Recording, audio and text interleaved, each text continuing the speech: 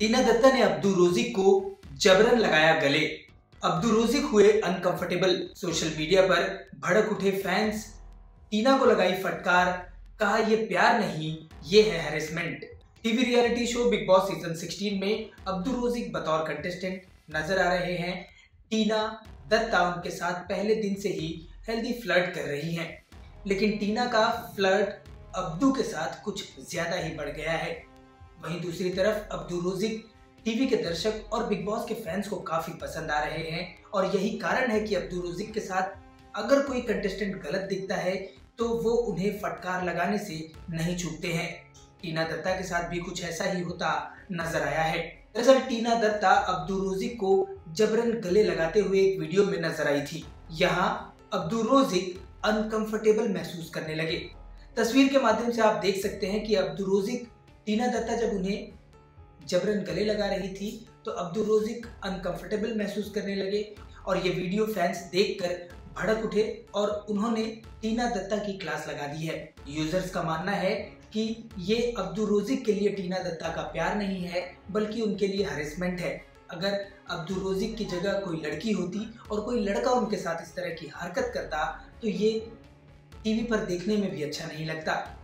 Abdul Rozik लड़के हैं, इसका मतलब ये नहीं है कि उनके साथ कोई भी खिलवाड़ करे या उन्हें बच्चा समझे। किसी के भी गले लगना हो और वो भी बिना उसके कंसर्न के तो ये हमारी आज़ादी का हनन होता है।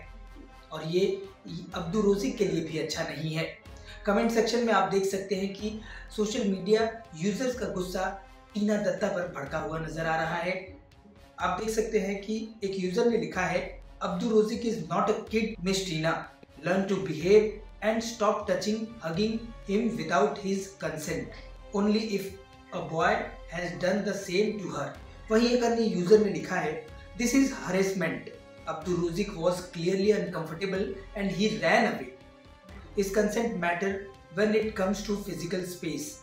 There should be absolutely no argument about it. Tina has repeatedly disrespect his right to consent. Not okay. वहीं एक अन्य यूज़र ने लिखा है, Tina Datta why are you making Abdu so uncomfortable कुल मिलाकर, अगर आप सिलसिलेवार तरीके से कमेंट्स को देखेंगे तो आपको पता चल जाएगा कि अब्दुल रोजिक के कंसेंट के बिना किस तरह से टीना दत्ता उन्हें गले लगाने का प्रयास कर रही हैं, इस पर उनकी आलोचना की गई है। टीवी और बिग बॉस से जुड़ी इसी तरह की खबरें लगातार पाने के लिए आप जुड़े रहिए हमारे चैनल से और अपनी प्रतिक्रिया कमेंट्स के ज़रिए हम तक ज़रूर पहुंचाएँ।